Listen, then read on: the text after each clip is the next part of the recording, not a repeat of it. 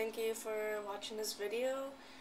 And basically, someone requested that to do a tutorial on Ravers Fantasy, which I thought was pretty simple, so I said why not do a tutorial, it's short and simple. Anyways, um, go like, comment, subscribe, a little button up there. That'd be great. Let me know you, let me know you guys are out there. Send me a message or comment what songs you want me to play and learn. I'm not sure how many tutorials I will be doing just because I'm not good at teaching. but um so yeah. That's it, really. Enjoy the video and good luck. Rock on. Alright. So I'm gonna be teaching Ravers Fantasy in tab form.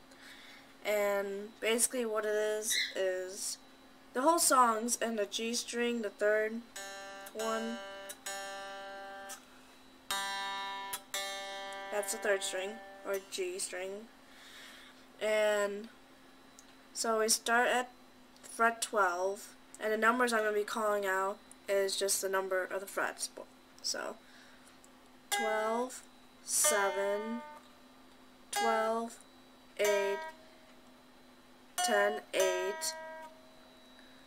7, 8, 10, 10, 7, 10, 5, 7, 5, 3, 5, 7, 12, 7, 12, 8, 10, 8, 10, 10, 10, 7, 10, 7, 10, 12, 12.